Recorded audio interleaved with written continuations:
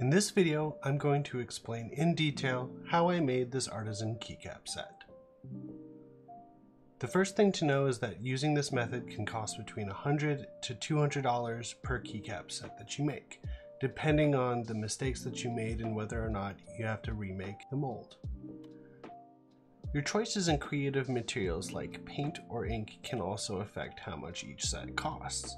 Every part of this can be hard to pull off, so I suggest a good level of determination as you will make mistakes and may feel discouraged. If you'd like to watch a quick overview and don't want the details, you can check out the video linked above or skip ahead to the b-roll. The first thing you will need to do is choose the keycap profile that you would like to use. Many times with artisan keycaps, a taller profile like SA is used so that there is more room for activities. I wanted a lower profile, so I chose to use crystal crowned keycaps because the walls were nice and thick, and they had a seam that would help me gauge how much resin I was pouring. I did end up using a little UV resin on the bottom side of the keycap to give more dimension to work with. After I poured and cured the UV resin, I did make sure that none of the keycaps interfered with the switches. Because I didn't want to spend a few months pouring the key set, one key at a time, I created a singular mold of the entire keyboard. To do this, I had some plexiglass cut at Lowe's, with the dimensions of an 80% keyboard in mind. This came out to be 14 inches by 5.5 inches for the main plate, and the walls that were cut were at least an inch and a half to two and a half inches wide with the same 14 or 5.5 inch length. The thickness of plexiglass that I used was roughly a tenth of an inch to an eighth. You could do thinner for a more flexible plate, but I wouldn't advise to go much thicker because it gets expensive and it makes it harder to separate the keycaps for the other part of the mold. I attached the keycaps to some plexiglass using some clear craft glue. Super glue made for plastic did also work and so did hot glue, but with the hot glue, spots leaked into the keycaps and it was much harder to remove the keycaps. When using superglue, if you don't put much glue, they aren't too hard to remove. I do advise on putting glue around the entire perimeter of the keycaps by just drawing it out on the plexiglass first. I did also buy some Elmer's clear craft glue, but ended up not trying it. After all the keycaps were glued down, I attached the sides of the plexiglass using hot glue. When working with silicone, you should shake the catalyst before adding it to the rubber. Use the correct ratio of catalyst and make sure that you let it cure at the right temperature. If any of these three are not done, you could be left with uncured silicone. The right temperature is between 74 degrees Fahrenheit and 80. I ended up having to buy a little space heater to make this work. When mixing, you should try to use movements that don't introduce bubbles. I ended up using a popsicle stick and very small circular movements. Try not to lift the rubber, but be sure to scrape the sides of the container. I used two containers of silicone for the first pour and two for the second. However, I do feel that it is possible to use one and a half, but to me, it wasn't worth the risk. After letting it cure for 8 to 12 hours, it should feel firm to the touch. If any part of it feels squishy, just let it sit longer. You may be able to use a container that you don't have to break, but hot glue is easy to peel off and reapply, so I broke mine. On the part of the mold that was the top surface while curing, you may need to trim the edges a little bit because capillary action can cause the silicone to want to travel up the walls a little bit. This side will now be on the bottom and it could cause the mold to become concave and the keycaps may come loose. Sometimes keycaps may try to float.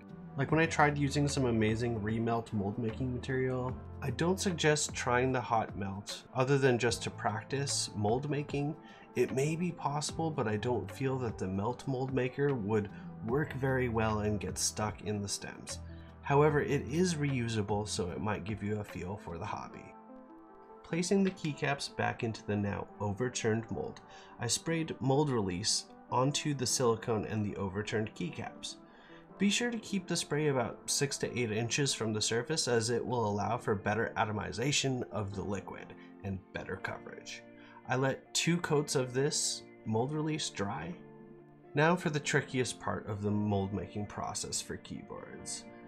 I definitely suggest using the same plexiglass container that you used in the first part of the mold and just turning over the plate. However, it will take slightly more precision and patience for the walls to make sure that it is sealed nicely and not deforming the silicone or leaking.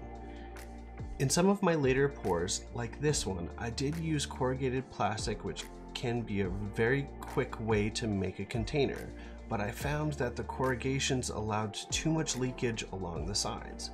If you plan on reusing the mold to make more than one run, a cleaner pour and box is nice to have. It also allows you to see the two halves of the mold. Once you have created the second box and are ready to pour, make sure that all of your keys are properly seated and begin mixing. At Hobby Lobby, they have these little plastic pipettes that are really easy to cut and allow for thick liquids to be pipetted. You will need to glob a little bit on every stem and then use a toothpick to coat the inside of the stem and hopefully get all the bubbles to come out of the stems. After being sure that each stem is filled, you can pour the rest of the silicone onto the keycaps and start mixing the other half. After curing, if you're able to seal the side walls to the silicone, it should just peel apart at the seam. However, if it didn't seal, you will need to find the seam to get the peel started. Don't force the silicone apart here and take your time as there are going to be areas that need to be finessed a little. Sometimes you may need to come at a different angle. After the halves are separated, the fun now begins. Start with spraying some mold release just on the half that had the stems and let it dry. Mold release does blemish the surface of resin and you'd need to polish it to remove those spots. The first half of the mold there isn't much for the resin to get caught on, so it really isn't needed here. Once the mold release is dry, you can begin to mix the resin. I found that for the set it would take roughly 180 milliliters of resin, roughly 60 milliliters for the first pour and around 120 milliliters for the second. Using the plastic pipettes, glob some resin into the stem portion of the mold, and use a heat gun to heat up the resin, allow bubbles to escape, and flow easier. You can use UV resin for the stems, but I don't recommend using it for any other parts as the thickness and length of the UV resin that you use does change how the resin can cure. After I finished with the stem portion of the mold, I pipetted the smallest layer of resin into the first part of the mold so that it touched each sidewall. I set both of these aside to cure for roughly 16 hours, and after they cured I inspected them. I ended up painting on the first half of the mold with acrylic paint. And if you mess up or get it on the sidewalls, it's easy to scratch up and it doesn't stick to the silicone very well. Once I was done painting, I mixed the other 120 milliliters of resin, dropped in some alcohol-based ink, and poured into the first half of the mold. This, however, didn't work as planned, so I don't recommend a dirty pour with such a large amount of resin. If you do a larger amount, you may want to layer the inks so that the deeper part of the mixture still has some color. I filled each keycap mold with more than enough resin as I wanted it to overflow into each cell and push out bubbles. When placing the second half of the mold, be sure to place it such that bubbles don't get trapped. That's why I laid it from left to right. After this is left for about 10 hours, the resin is mostly cured hard to the touch, but can still be deformed a little. Working with it in the state can be risky, but can allow for mistakes to be corrected. I would suggest waiting to around 12 to 14 hours, maybe even a whole day the first time you pour resin, and adjust it accordingly. I like being able to cut the resin with razor blades and not have to worry about chipping off too much. Using a razor blade and cutting the keycaps out allows for cleaner edges. You also may want to put the keycaps on a keyboard to ensure that each key has clearance to function and doesn't conflict with the other keycaps. Three or so of these keycaps had bubbles that affected the aesthetics, so I used UV resin to reflow the voids and cure them into place. Without further ado, here is the sound test.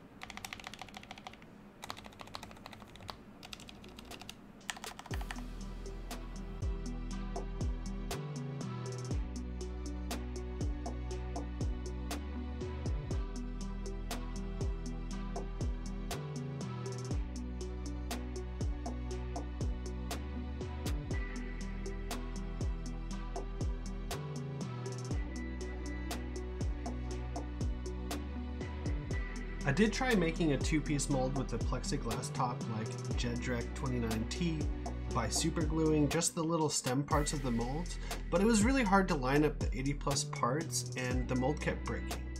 But his great videos on resin art helped to inspire me to make my own keycaps. Also, I would just like to say that if you don't already know who Hipyo is, please check out his channel as he is really nice and has a fun time messing with keyboards. If my video was helpful, please like, comment, and subscribe. Thanks.